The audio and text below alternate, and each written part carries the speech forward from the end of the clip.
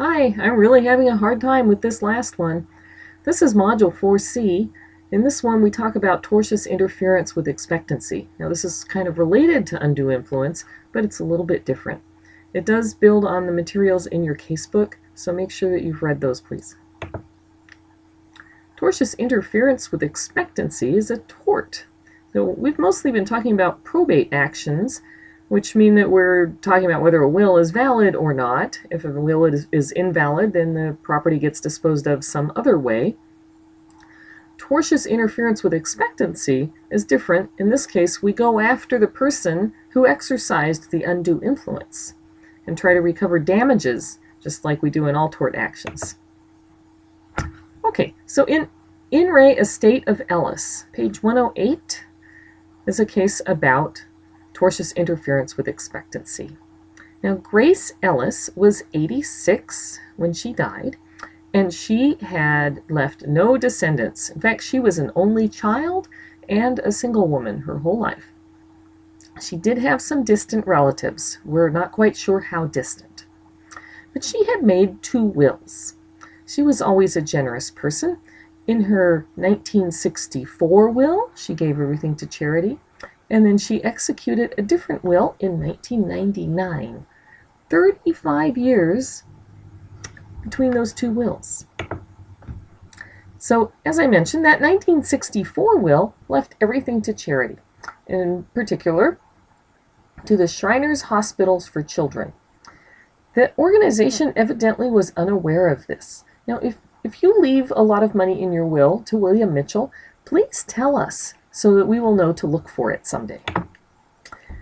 Okay, the 1999 will, 35 years later, left the whole estate not to those distant relatives, but to her pastor, the Reverend James G. Bauman. And he did know about it. He especially knew about it because she had made large gifts to him during her lifetime as well. Her relatives, who would be the intestate heirs, thought they should inherit some of Aunt Grace's money. Um, and they brought a will contest, but they lost. As part of that lawsuit, Reverend Bauman introduced that old will into the record. And that's when the Shriners found out about it. Now, my guess is he was trying to show look, how could this be undue influence? There's not really that big a change in plans because she never meant to leave any of it to her family. That's my guess. It would be a, a good argument.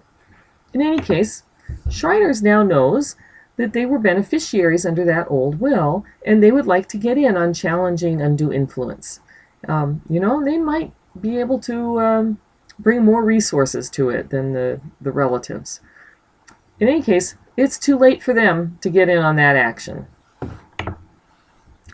So in this lawsuit, they're trying instead to recover damages from Reverend Bauman. The analysis is similar to undue influence. If they can show undue influence or show something similar, what they're showing is tortious interference with expectancy. Uh, but we're actually not going to get to the merits of that.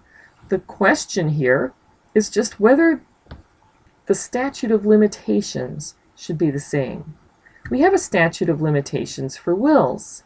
And, you know, we really want that because once an estate is closed, once we've probated a will, we've, we've put out a notice to creditors, we've put out a notice to all of the intestate heirs. We really want things to be done.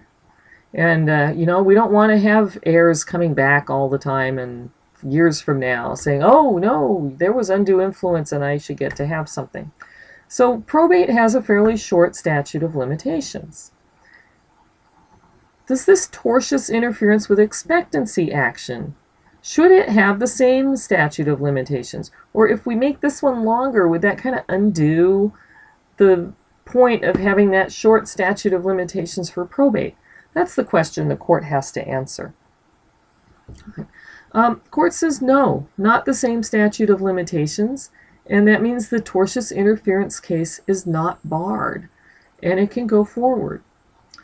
Now, I don't know what actually happened after that. The case got remanded, and I, I could not find a, a final resolution anywhere.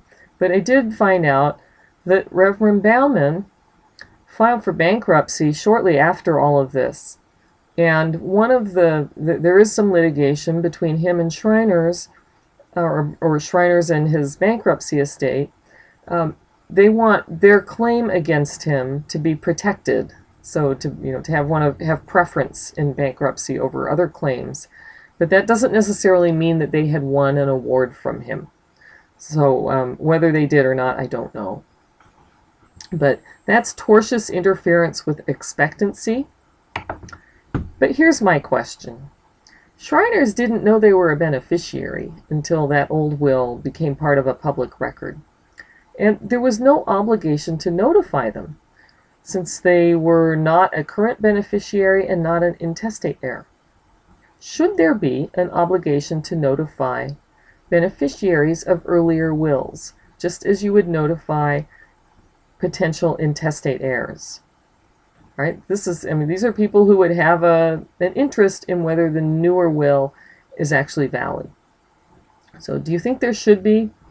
Um, and if they can show undue influence on the part of Reverend Bauman, should they be able to recover for the lifetime gifts as well as for the inheritance?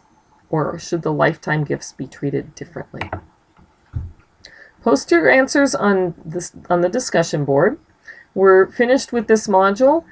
We've talked about undue influence, and uh, the key thing is that somebody else's will has been substituted for the testator's. Even though the testator executed the will, they're not really doing what they would want to do. They're doing what somebody else wants them to do.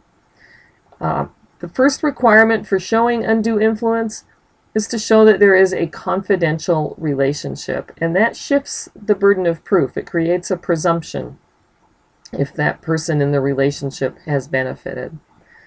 In addition, there were a number of other factors. You should be able to go back and pull those out. Um, and we looked at tortious interference with expectancy, a related but different tort action that covers some of the same issues as undue influence, but allows recovery of damages from the beneficiary who exercised the undue influence. Um, and as we saw in Estate of, of Ellis, the tort really is a separate tort claim, and so it's not subject to the probate statute of limitations. Okay, thanks for watching, um, and thank you for your patience as we got these videos finalized and, and um, published.